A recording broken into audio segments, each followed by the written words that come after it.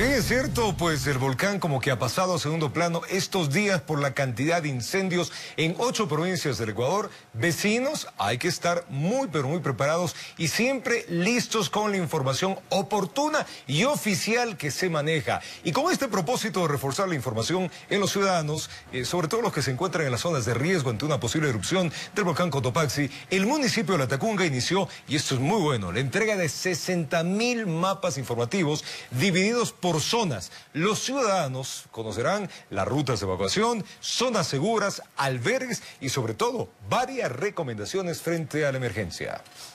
Veamos. El día de hoy inició la distribución de 60.000 mapas informativos por zonas.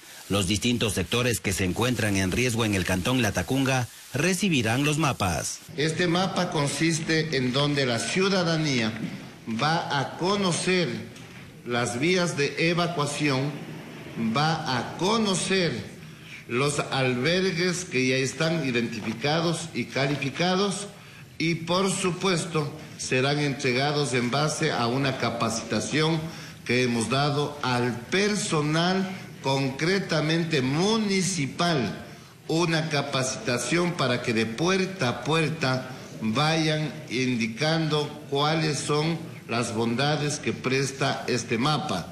Los ciudadanos complementan la información. En familia, analizan el mapa y lo que deben hacer para precautelar sus vidas ante una posible erupción del volcán Cotopaxi. Es la mejor forma que están haciendo ya que de esa manera nos ayudan a, que, a que las personas no se, el momento que llega, por ejemplo, a pasar una erupción, no saber ni qué hacer. En cambio, de esta manera nosotros ya tenemos el conocimiento de qué podemos hacer, a dónde debemos acudir. Cinco brigadas recorrerán puerta a puerta los diferentes sectores. En su visita detallan la información del mapa. Ahorita nos están poniendo sobre qué tenemos que tener en las mochilas, cómo debemos eh, prevenirnos, a dónde tenemos que evacuarnos en caso de una posible erupción, ¿no?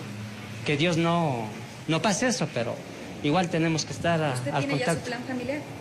Sí, ya tenemos algo, algo, pero tenemos que completar más, poner más a lo que ya nos están instruyendo ahorita. En este momento nos instruyen, entonces nosotros debemos poner todo en práctica, todo en actividad. Informó Luis Vargas.